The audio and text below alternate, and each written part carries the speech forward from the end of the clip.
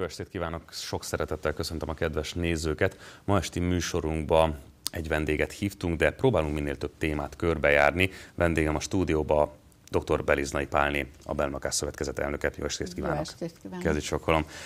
Hát végre napos időnk volt, tavaszodik, és ehhez azért szorosan hozzá kapcsolódik a lomtalanítás, és erről szeretnék elsősorban beszélgetni. Én, amikor megláttam ezt a témát, akkor én arra gondoltam, hogy ó, hát ez most már szombathelyen szinte minden lakó számára egy ilyen rutin feladat, örülünk, megszabadulunk a lomoktól, és biztos, hogy pontosan tudja mindenki azt, hogy mit és hogyan kell csinálni.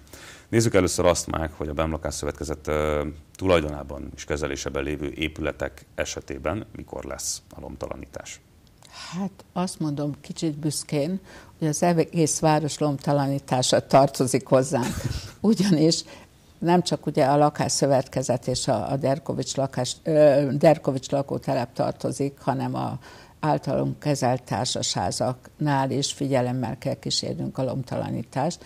Ezért végignéztem én a listát, ugye, ami 6-án kezdődött, és május 11-ig tart, tehát mindenhol vannak olyan házak, ahol közös képviseletet látunk el. Tulajdonképpen mindenhol ugye érvényben van, hogy fel kell hívni a lakosságnak a figyelmét hogyan teszik meg mindezt. Lehet, hogy ez most egy jó felület, hogy itt a Szombati Televízió műsorában hallhatják a lakóknál azért a legfontosabb időpontokat, vagy helyszíneket, ami, ami azért frekventált ilyen szempontból is fontosokat Remél, említsük meg. Remélem, hogy a kedves uh, tulajdonosok nézik most az adást, és aki eddig elfelejtette, az most felhívjuk a figyelmét. Ugyanis úgy van, hogy a kábel televízió hírcsatornáján mi kiközöljük azokra a területekre, ahol ugye televízióval bent vagyunk a lakásokba, de azért vannak olyan ö, utcák és olyan társasházak, ahol nyilván nem vagyunk. Ott eddig azt gondoltam a mai napig, hogy tényleg annyiszor a Szavária fórumban megjelenik, akkor interneten hozzá lehet férni.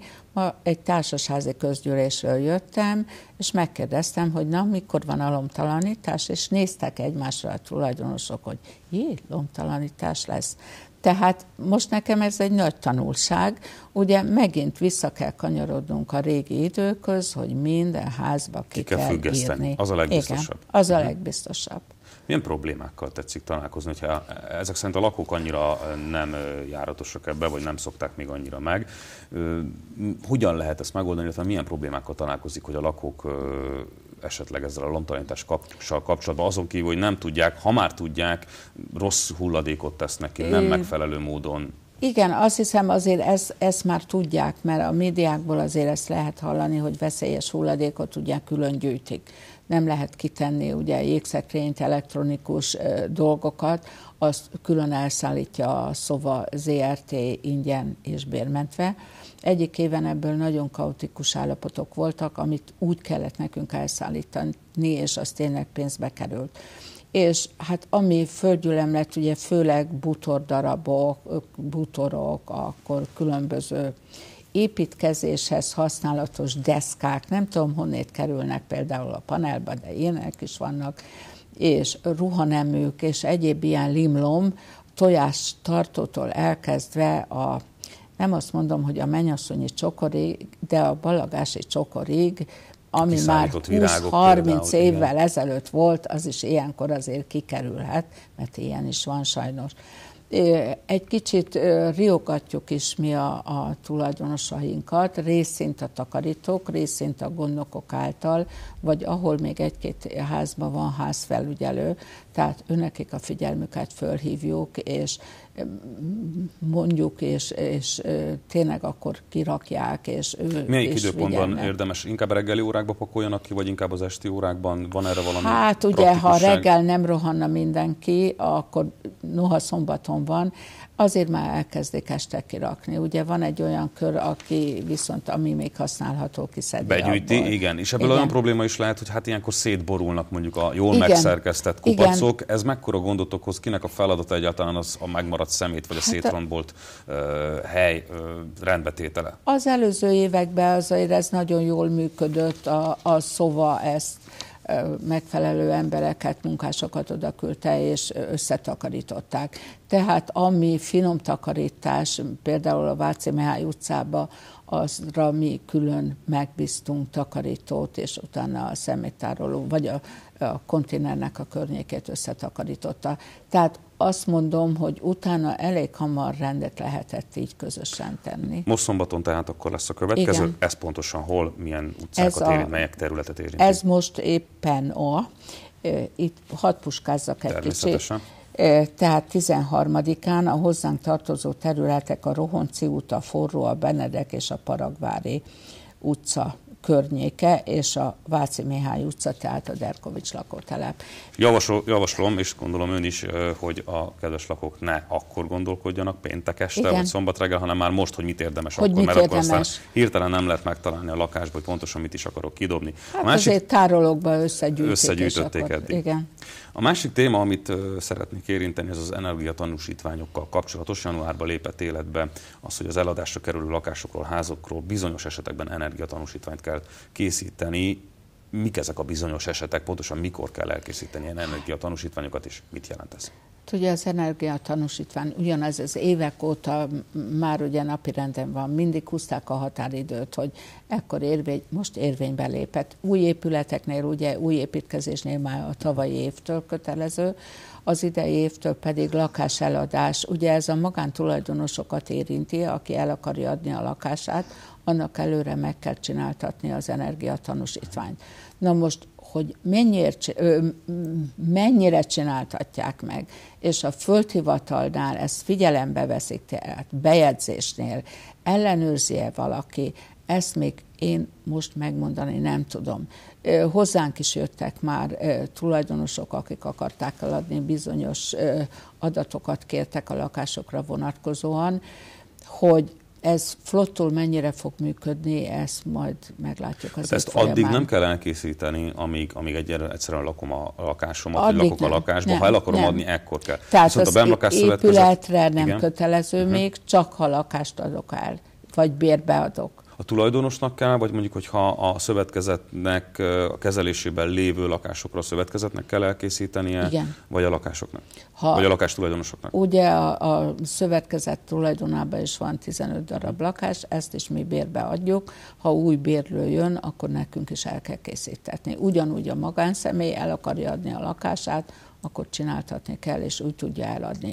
Mi derül most... ki ebből a tanúsítványból? Tehát ez miért fontos, kinek fontos, a vevőnek inkább, az eladónak? Hát vagy a vevőnek. Milyen... A, a vevőnek is, meg az eladónak is. Az eladó azért, mert ha egy olyan lakást ad el, mondjuk, nagy általánosságban mondom, ha hőszigetelt az a ház, hőszigetelt a tető, a, a fűtés korszerű, tehát lehet mérni a fűtést, akkor nyilván, hogy ő drágábbért tudja eladni, a vevő pedig jobban örül, mert ugye takarékoskodni tud az energiával. Mennyit lehet energiában vagy pénzben spórolni, hogyha energiatakarékosabb házban, lakásban lakunk? Ha jól tudom, akkor volt egy ilyen kísérleti felmérés Igen. az önök kezelésében lévő Váci tudom, utcában talán? A Váci Mihály utcában, a tizemeletes épületnél, ott az egyik, ép, tehát szigetelve lett a, az épület, és az egyik lépcsőház, ami 44 lakást érintett, ott a fűtés korszerűsítés is megtörtént, ott két és fél millió forintot spóroltak meg a lakók egy fűtési idényben. Uh-huh. Ez 100, 30 százalékos, igen, jól emlékszem, igen, 30-37 százalékos megtakarítást lehet. Ugye ehhez meg hozzátársul, ha olyan nyilázárok vannak, ami korszerűek, uh-huh. tehát nem a régi fa, ahol befolyt a szél, az még hozzájárul a megtakarításhoz. Ezzel kapcsolatban nagyon jó felújítások voltak a közelmúltban, pályázatok is voltak erre. Igen. A közeljövőben egyébként várható, hogy ezzel kapcsolatban írnak ki pályázatot, vagy önök már tudnak róla és pályázni fognak hasonló panel felújításra, szigetelésre, energia nem megtakarítás tudunk, miatt? Jelen pillanatban nem tudunk, de most a jövő héten lesz egy országos konferencia, amitől nagyon sokat várunk, sok témába, hogy újat hallunk, és olyat, ami hát most ezek épületek felújítására az fel lehet használni. Beszélgetésünk közepén tetszett említeni, hogy éppen egy közgyűlésről érkezett. Igen. Ezeknek a közgyűléseknek nagyon fontos szerepe van az, a mostani időszakban, hiszen a számviteli törvény szerint május 31-ig kell elkészíteni az elmúlt időszak, az előző év pénzügyi elszámolásait, és ezért közgyűlést kell Igen. összehívni.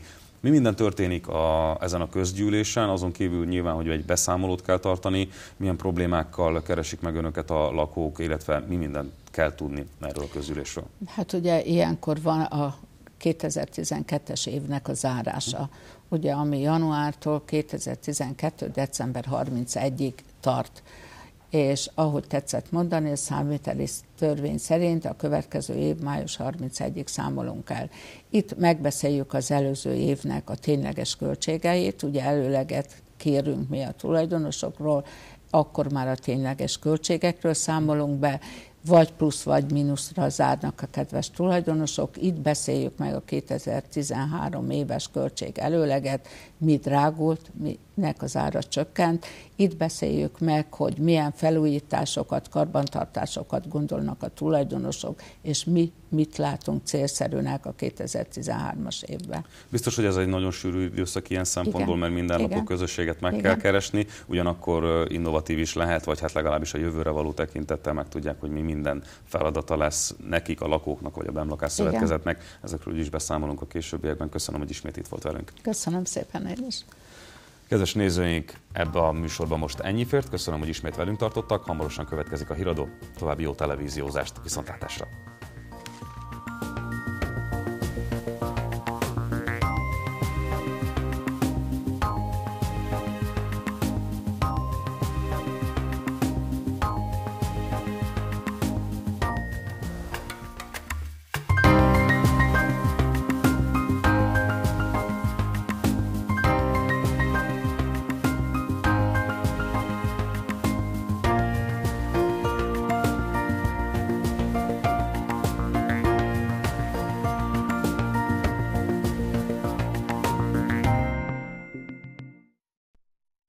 Műsorvezetőinket a Griff Gentlemans öltözteti.